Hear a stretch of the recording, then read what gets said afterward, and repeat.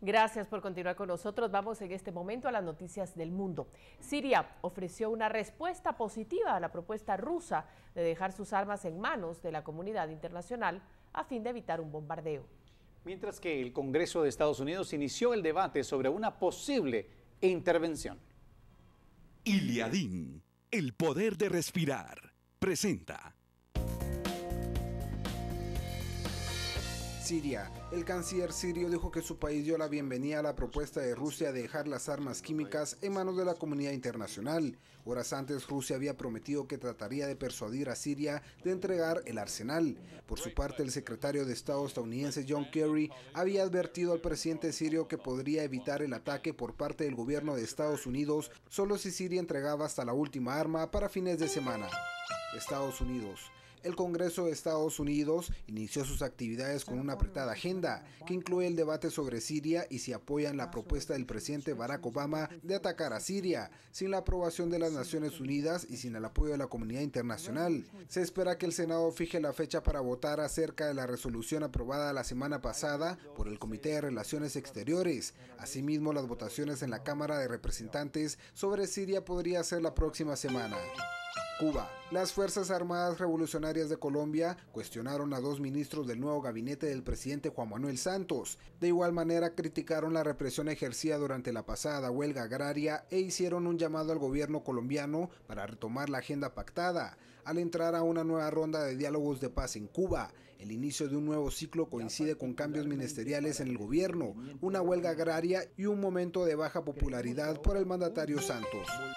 Filipinas. Seis personas murieron y 24 resultaron heridas tras el ataque de un grupo de musulmanes, que también secuestraron a entre 20 y 30 filipinos.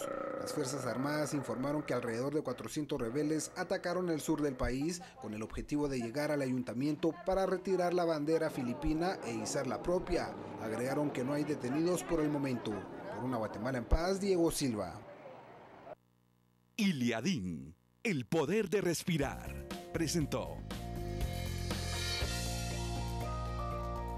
Y con motivo de la feria patronal de Totonicapán, este fin de semana fue electa la reina indígena del departamento.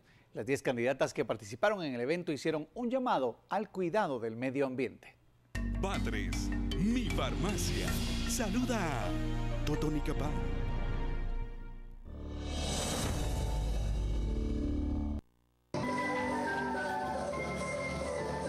Motivo de celebrarse la feria patronal de este municipio, se realizan varias actividades. Una de ellas es la elección de la representativa de la belleza indígena, donde fueron 10 las participantes provenientes de las diferentes comunidades de esta localidad. Me siento muy feliz, ya que gracias a Dios estoy en este, en este lugar y pues mi corazón se siente muy contento y no tengo palabras que decirle más que agradecerle a Dios que me ha dado esta oportunidad. El programa fue interesante con presentaciones y discursos sobre temas del medio ambiente y la violencia intrafamiliar, mismos que afectan a gran parte de esta población. Pues mi tema pues me inspiré tanto porque me di cuenta que muchos ahora en sus familias están sufriendo de la violencia intrafamiliar, ya que este es un grave problema que se está dando dentro del pueblo, dentro del, país incluso. Y esto es un esto es un problema demasiado grave. Entonces yo invito pues a, practicar los valores, ya que todos somos humanos, Dios nos hizo por igual y respetémonos unos a otros. Por una Guatemala en paz, reportando para Noticiero Guatevisión, Edgar Domínguez. Padres, mi farmacia, sí hay.